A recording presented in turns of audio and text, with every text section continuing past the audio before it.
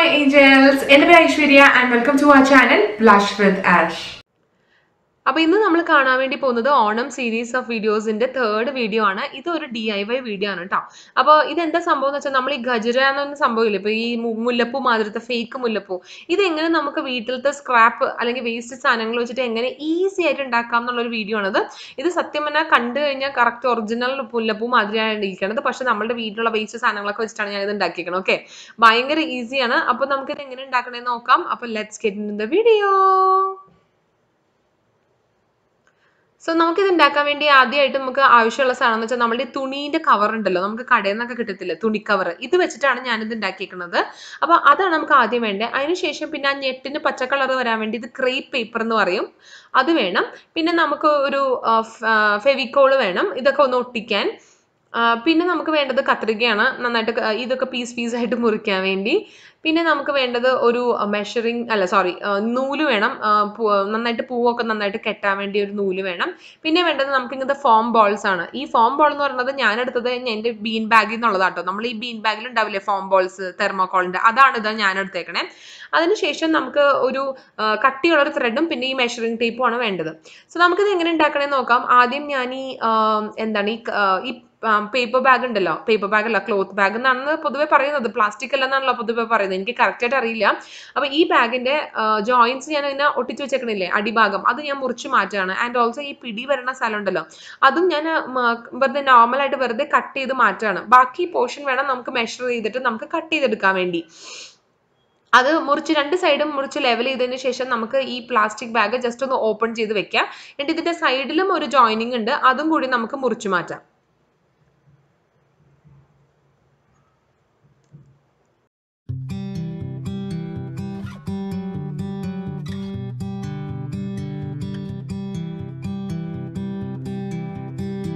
ഇനി നമ്മൾ നെക്സ്റ്റ് ചെയ്യാൻ വേണ്ടി പോകുന്നത് ഈ ഒരു ബാഗ് ഉണ്ടല്ലോ ഈ ക്ലോത്ത് ബാഗ് അത് നമ്മൾ മെഷർ ചെയ്ത് സ്ട്രിപ്സ് ചെറിയ ചെറിയ നീളത്തിലുള്ള സ്ട്രിപ്സ് ആയിട്ട് നമ്മൾ മെഷർ ചെയ്ത് മുറിച്ചെടുക്കാൻ വേണ്ടി പോവാണ്.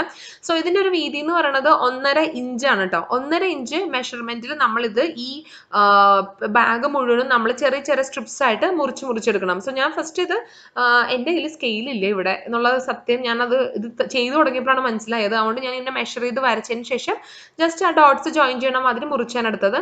അതിനുശേഷം ഇത് ഓരോന്നിന്റെ മേലെ ഓവർലാപ്പ് ചെയ്ത് വെച്ച് വെച്ച് വെച്ച് ആ കറക്റ്റ് ഒന്നര ഇഞ്ച് മെഷർമെന്റ് ഞാനത് മുറിച്ചെടുക്കുകയാണ് ചെയ്തത്.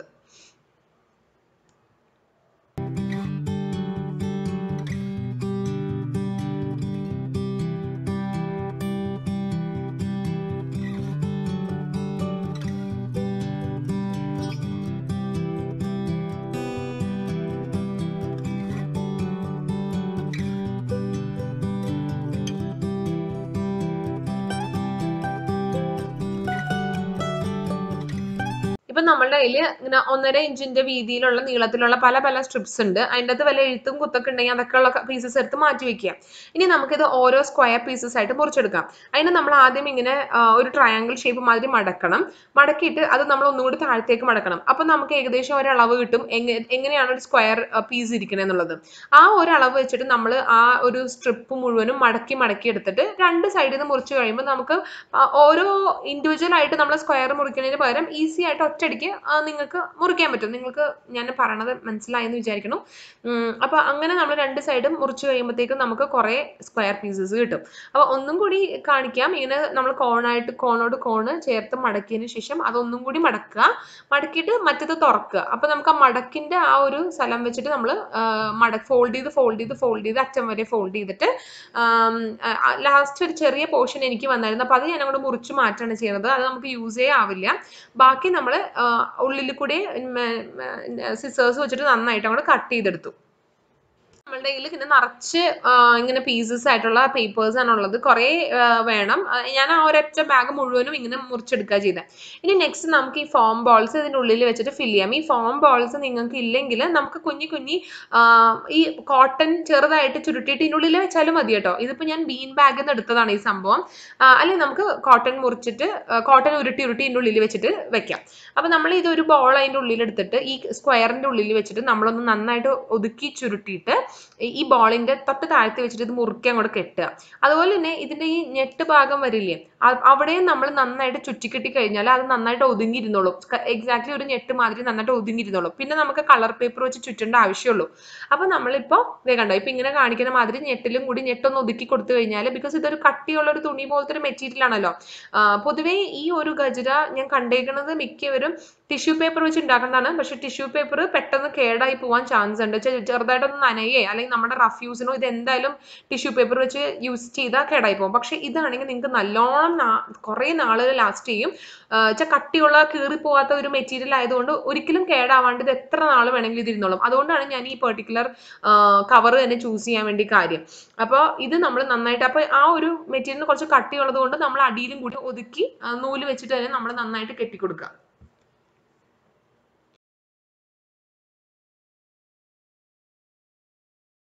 അതുപോലെ ഞാൻ മുറിച്ചെടുത്ത എല്ലാ പേപ്പേഴ്സും ഇങ്ങനെ ഈ ബോൾ വെച്ചിട്ട് ഞാൻ ചുറ്റി നന്നായിട്ട് ചുറ്റിക്കെട്ടിക്കൊണ്ടിരിക്കുകയാണ്. ഇതിപ്പോൾ അത്യാവശ്യം കുറച്ചധികം വേണം. എനിക്ക് എന്റെ ഒരു അഭിപ്രായത്തിൽ മീഡിയം കവറിന്റെ ഫുൾ സ്ട്രിപ്സും വേണ്ടി വന്നു.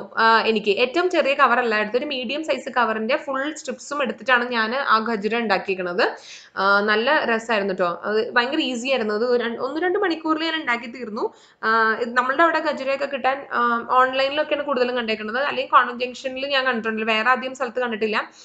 ബട്ട് സ്റ്റിൽ നമ്മളിത് സ്വന്തം കൈ കൊണ്ട് ഉണ്ടാക്കുമ്പോൾ നമുക്കൊരു സാറ്റിസ്ഫാക്ഷൻ ആണല്ലോ. അപ്പോൾ ഗജര വാങ്ങിക്കാൻ സൗകര്യമില്ലാത്ത ആൾക്കാർക്ക് നമുക്ക് വീട്ടിലുള്ള സാധനങ്ങൾ വെച്ചിട്ട് നമുക്ക് ഈസി ആയിട്ട് ഉണ്ടാക്കിയെടുക്കാൻ പറ്റും. നമ്മൾ ഈ പൂവിന്റെ ഇതുണ്ട്. ഇപ്പൊ ഒരു മുല്ലമൊട്ട് മാതിരി ഇരിക്കില്ലേ അപ്പൊ ഇനി അതിന്റെ ഞെട്ട് നമ്മൾ കവർ ചെയ്യാൻ വേണ്ടി പോവാണ്. അതിന് നമ്മൾ എന്താ ചെയ്യേണ്ടത് വെച്ചാൽ നമ്മൾ ആദ്യം കാണിച്ച ആ ക്രീ പേപ്പർ ഉണ്ടല്ലോ ആ പേപ്പർ എടുക്കുക. ആ പേപ്പർ എടുത്തിട്ട് നമ്മൾ ഒരു അറ്റത്തുനിന്ന് ഒരു ചെറിയ ഈ ഒരു ചെറിയൊരു മെഷർമെന്റിൽ വരണ സൈസ് നമ്മൾ അതങ്ങോട്ട് മുറിച്ചെടുക്കുക. ആ ഞെട്ടിന്റെ നീളം കാണുള്ളൂ അതിന്. ഞാൻ അങ്ങനെ മെഷർ ഒന്നും ചെയ്തില്ല. ആ ഞെട്ട് കവർ ചെയ്യാൻ വേണ്ടി പാകത്തിനുള്ള നീളത്തിന് ഞാനത് വീതിക്ക് ഞാനത് മുറിച്ചെടുത്തു. അതിനുശേഷം നമുക്ക് എന്താ ചെയ്യേണ്ടതെന്ന് വെച്ചാൽ ഒരു പാത്രത്തിൽ കുറച്ച് ഫെവിക്കോൾ നമ്മൾ ഒഴിക്കുക.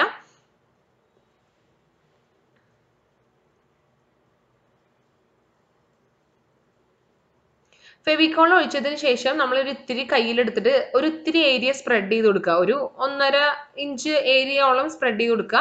എന്നിട്ട് നമുക്കൊരു മുല്ലമോട്ട് എടുത്തിട്ട് അതിങ്ങനെ ജസ്റ്റ് അതൊന്ന് റോൾ ചെയ്ത് കൊടുത്താൽ മതി. റോൾ ചെയ്തിട്ട് ആ പേപ്പർ അങ്ങനെ തന്നെ ഞങ്ങൾ കീറെടുത്താൽ മതി. അത് ഇനിയിപ്പോൾ കത്രിക വെച്ച് കീറേണ്ട ആവശ്യമൊന്നുമില്ല. എന്നിട്ട് അതൊന്നും കൂടി കയ്യിൽ വെച്ചിട്ട് തന്നെ ഒന്നും കൂടി ചുരുട്ടി കൊടുത്താൽ ടൈറ്റ് ആയിട്ടിരുന്നുള്ളൂ പക്ഷെ നമുക്കറിയാലോ നമ്മളുടെ ഈ മറ്റെല്ലാ പശുവിനേക്കാളും ഒന്നും കൂടി നല്ലത് ഫെവിക്കോൾ തന്നെയാണ്. അപ്പോൾ പെട്ടെന്ന് അത് ഒട്ടി നല്ല സ്റ്റിഫ് ആയിട്ടിരുന്നോളും ആ ഒരു ഞെട്ടിന്റെ ഒരു ഏരിയ അപ്പോൾ അങ്ങനെ നമ്മൾ ചെയ്ത നമ്മൾ ഉണ്ടാക്കി വെച്ചിരിക്കുന്ന മൊട്ട് മുഴുവനും നമ്മൾ ഈ തണ്ട് ഇങ്ങനെ ഈ പച്ച കളറ് ക്രീപ്പ് പേപ്പർ വെച്ചിട്ട് നമ്മൾ കവർ ചെയ്യണം.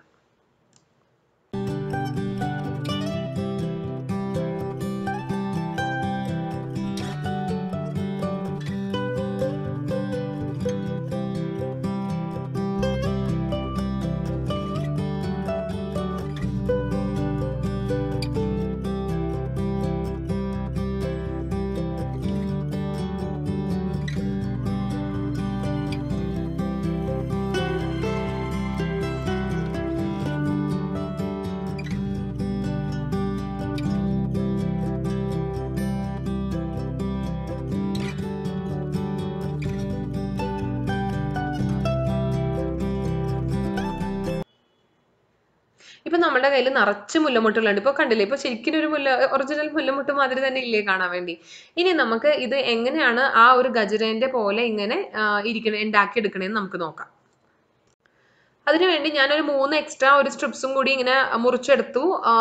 ഇത് മുറിച്ചെടുത്തിട്ട് ഞാൻ ഇങ്ങനെ പിരിച്ചു. പിരിച്ചതിന് ശേഷം നൂൽ വെച്ച് ഫുള്ളും ഇങ്ങനെ ചുറ്റി ചുറ്റി ചുറ്റി ചുറ്റി അത് സ്റ്റിഫായിട്ട് ഇരിക്കാൻ വേണ്ടി. ഇപ്പം നിങ്ങൾക്ക് ഇങ്ങനെ ഈ സ്ട്രിപ്പ് തന്നെ വേണമെന്നില്ല ഇപ്പം കമ്പി ഉണ്ടെങ്കിൽ കമ്പി എടുക്കാം എന്നിട്ട് അതിന്റെ മേലെ എന്തെങ്കിലും വൈറ്റ് സാധനം വെച്ചിട്ട് കവർ ചെയ്യാൻ വേണ്ടി മാറ്റിയാൽ മതി. അല്ലെങ്കിൽ കട്ടിയുള്ള ഇതില്ലേ ചാക്കുനൂലായാലും മതി. ചാക്കുനൂൽ എടുത്ത് ഇത്തിരി കട്ടിക്ക് എടുത്തിട്ട് അതിന്റെ മേലെ വൈറ്റ് ഇങ്ങനത്തെ മെറ്റീരിയൽ വെച്ചിട്ട് ഒന്ന് കെട്ടി വെച്ചതിന് ശേഷം ആകുമ്പോൾ ആ ഒരു സ്റ്റിഫ് ആയിട്ടിരിക്കില്ലേ അപ്പൊ അങ്ങനെയാണ് നമ്മൾ ഇനി നെക്സ്റ്റ് ചെയ്യാൻ വേണ്ടി പോണത്. അപ്പൊ ഈ ഒരു പോർഷൻ നന്നായിട്ട് ചെയ്യാം. അതിനുശേഷം ഈ കട്ടിയുള്ള ഒരു ത്രെഡ് എടുത്തിട്ട് ഞാൻ അതിന്റെ മേളിൽ നിന്ന് താഴ്ത്ത് വരെ ഒന്നും കൂടി കെട്ടി നന്നായിട്ട് സെക്യൂർ ചെയ്യണം. ഒന്നും കൂടി നന്നായിട്ട് കെട്ടുകയാണ്. അപ്പോൾ അത് ആ ഒരു പീസിന് അത് അത് ലെവൻ ആൻഡ് ഹാഫ് അല്ലെങ്കിൽ twelve inch eleven to twelve ഇഞ്ചസിന്റെ ഇടയ്ക്കുള്ള നീളത്തിലുള്ള ഒരു സ്ട്രിപ്പാണ് അത് എടുത്തേക്കുന്നത് അതാണ് നമ്മുടെ ഈ തലയിൽ കൊണ്ട കിട്ടുമ്പോൾ കറക്റ്റ് റാ ഷേപ്പ് മാതിരി വന്നിരിക്കാനുള്ള മെഷർമെന്റ് ആണ് കേട്ടോ അത് ഞാൻ പറയാൻ മറന്നുപോയി. പതിനൊന്നര ടു പന്ത്രണ്ട് ഇഞ്ച് നമുക്ക് നീളത്തിൽ ഈ ഒരു പീസ് നമുക്ക് എടുക്കാം. സോ ഇത് നമ്മൾ ത്രെഡ് നന്നായിട്ട് ഈ കട്ടിയുള്ള ത്രെഡില്ലേ അത് വെച്ച് നമ്മൾ നന്നായിട്ട് ചുറ്റിയെടുക്കുക. ഇനി നമ്മൾ ഓരോ മുല്ലപ്പൂവും ഇങ്ങനെ ഒരു മേളിൽ നിന്ന് തന്നെ സ്റ്റാർട്ട് ചെയ്ത് നാല് വശത്തായിട്ട് ഓരോരോ മുല്ലപ്പൂ വെച്ചിട്ട് നമ്മൾ കെട്ടി കെട്ടി കെട്ടി വരാണ്. ഇപ്പൊ മുല്ലപ്പൂ കെട്ടില്ല അതുമാതിരി നമ്മൾ കെട്ടി കെട്ടി വരാണ്. നിങ്ങൾക്ക് വേണമെങ്കിൽ സൂചി വെച്ച് കോർക്കാം. പക്ഷേ ടു ബി ഓണസ്റ്റ് സൂചി വെച്ച് ഞാൻ ഇതൊക്കെ ഉണ്ടാക്കണതിന് മുന്നേ ഞാൻ ഒരു പ്രാവശ്യം വേറെ സൂചി വെച്ച് കോർത്ത് നോക്കി. സൂചി വെച്ച് കോർക്കണതിന് തീരെ തിക്നെസ് ഉണ്ടാവില്ല ആ ഒരു ഭംഗി ഉണ്ടാവില്ല കാണാൻ വേണ്ടി. പക്ഷെ നമ്മൾ ഇങ്ങനെ ഒരു കട്ടിയുള്ള ഒരു മെറ്റീരിയലിന്റെ മേലെ വെച്ച് ഇങ്ങനെ ചുറ്റി ചുറ്റി കെട്ടുകയാണെങ്കിൽ നല്ല കട്ട കുത്തിയ മുല്ലപ്പൂവിന്റെ ഒരു സ്റ്റാൻഡ് മാതിരി തോന്നും. അതുകൊണ്ടാണ് ഞാൻ ഇങ്ങനെ കെട്ടാന്ന് വിചാരിച്ചത്. അപ്പോൾ ഇതിന്റെ മേലെ വെച്ചിട്ട് നമ്മൾ ഇങ്ങനെ ചുറ്റി ചുറ്റി ചുറ്റി കെട്ടിട്ട് കെട്ടിട്ട് പോവുക. ഒരെണ്ണം വെക്കുക ഒരു ചുറ്റിടുക രണ്ടാമത് വെക്കുക ഒരു ചുറ്റിടുക. അങ്ങനെ നാലെണ്ണം വെച്ച് കഴിഞ്ഞിട്ട് അതൊക്കെ കൂടി കൂട്ടി ഒരൊറ്റ കെട്ടിട്ട് കൊടുക്കുക. അങ്ങനെ കെട്ടി നമുക്കൊന്ന് കൂടെ പിടിച്ചാൽ മതി. അപ്പോൾ നമ്മൾ നന്നായിട്ട് ഒതുക്കി പിടിച്ചിട്ട് നമ്മളിത് കെട്ടുക. നിങ്ങൾക്ക് ഇപ്പോൾ ഇത് വിട്ടു പോകും എന്തെങ്കിലും ഡൗട്ട് ഉണ്ടെങ്കിൽ നമ്മൾ ഈ മുല്ലപ്പ് വെക്കണതിന് കൂടെ ഒരു ഇത്തിരി ഫെവിക്കോളും കൂടി ഒട്ടിച്ചു കൊടുത്താൽ മതി. പക്ഷെ വേണമെന്നില്ല. ഞാനൊന്നും ഫെവിക്കോൾ കുത്തി ഒന്നും തേച്ചിട്ടില്ല. പക്ഷെ അങ്ങനെ തന്നെ നമ്മൾ നാലെണ്ണം ചുറ്റും ആ ഒരു വയറിന്റെ നാല് ഭാഗത്ത് നമ്മൾ വെക്കുക. എന്നിട്ട് ചുറ്റുക എന്നിട്ട് കെട്ടിട്ട് കൊടുക്കുക വീണ്ടും താഴത്ത് അങ്ങനെ കണ്ടിന്യൂസ് ആയിട്ട് താഴത്ത് താഴത്ത് താഴത്ത് കെട്ടി കെട്ടി പോരുക.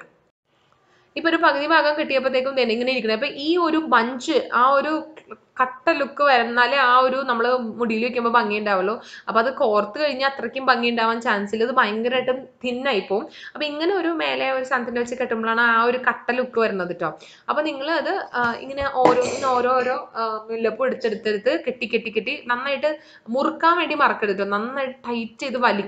ചില ഇത് ലൂസ് ആക്കി കഴിഞ്ഞാൽ അതിന്റെ ഇടയിൽ നിന്ന് മുല്ലപ്പൂ വിട്ടു പോരാനുള്ള ഒരു ടെൻഡൻസി ഉണ്ട് അപ്പോൾ നമ്മളത് നന്നായിട്ട് കെട്ടി കെട്ടി ഓരോ കെട്ടും നമ്മൾ വലിച്ചു വലിച്ച് മുറുക്കുക.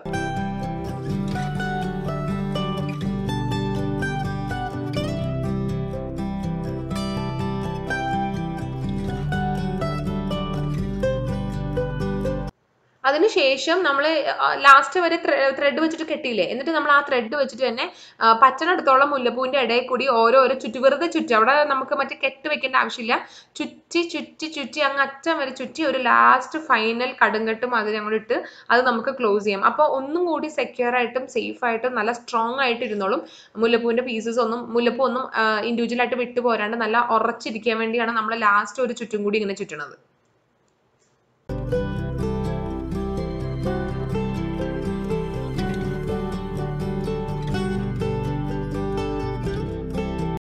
ചെയ്യാനുള്ളത് ഈ ഗജര നമ്മളുടെ ഗൊണ്ടേന്റെ താഴത്ത് വെച്ച് കെട്ടാനുള്ള ഒരു വള്ളിയാണ് എന്റെ അഭിപ്രായത്തിൽ നിങ്ങൾ കറുത്ത ചരട് ഉണ്ടെങ്കിൽ അത് എടുക്കണേക്കും നല്ലത്. എന്റെ കയ്യിൽ കറുത്ത ചരട് ഉണ്ടായിരുന്നില്ല.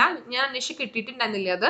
അപ്പൊ അതുകൊണ്ട് ഞാൻ ഈ വലിയ കട്ടിയുള്ള ത്രെഡ് ഉണ്ടല്ലോ അതൊരു മൂന്ന് പ്രാവശ്യമായിട്ട് മടക്കിയിട്ട് അത് രണ്ട് അറ്റത്തും കെട്ടി ഉറപ്പിക്കുകയാണ് ചെയ്തത്. കെട്ടിയിട്ട് നന്നായിട്ട് സ്ട്രോങ് ആയിട്ട് ഉറപ്പിക്കുകയാണ് ചെയ്തത്. അപ്പൊ നമുക്ക് അടി വെച്ച് കെട്ടാം. പക്ഷേ ഈ വൈറ്റ് ത്രെഡ് ഒക്കെ ആവുമ്പോൾ നമ്മൾ കെട്ടി കഴിയുമ്പോൾ അതിന്റെ ആ കെട്ട് നമുക്ക് മുടീന്റെ അടി കൂടി കാണാൻ പറ്റും. നമുക്ക് വേണമെങ്കിൽ അത് എന്താ നമ്മുടെ യൂപ്പിൻ വെച്ചിട്ട് തന്നെ അകത്തേക്ക് നമുക്ക് വെക്കാം. പക്ഷേ ബ്ലാക്ക് ഉണ്ടെങ്കിൽ നമുക്ക് കുഴപ്പമൊന്നുമില്ല. ഈസി ആയിട്ട് നമുക്ക് ഒട്ടും അറിയില്ല മുടീന്റെ ഇടയിൽ ഇരിക്കുമ്പോൾ അപ്പൊ നിങ്ങൾ നന്നായിട്ട് നന്നായിട്ട് വലിച്ച് മുറുക്കി സെക്യൂർ ചെയ്യുക രണ്ട് സൈഡും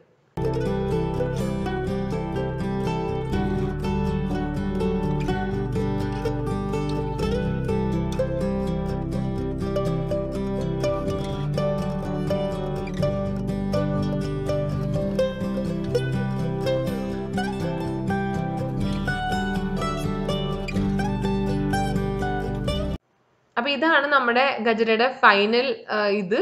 നല്ല ഭംഗിയാണ് കാണാൻ വേണ്ടി. ശരിക്കും മുല്ലപ്പൂ മാതിരി തന്നെ ഇരിക്കും. പിന്നെ കഴിഞ്ഞ വീഡിയോയിൽ എല്ലാവരും ചോദിച്ചു എനിക്ക് തൊണ്ടയ്ക്ക് വയ്യേന്ന്. പക്ഷെ എനിക്ക് വയ്യ കോൾഡും ചുമയായിട്ട് ഇരിക്കണം കേട്ടോ. ഞാനത് വീഡിയോന്റെ തുടക്കത്തിൽ പറയണമെന്ന് ചോദിച്ചതാ മറന്നുപോയി.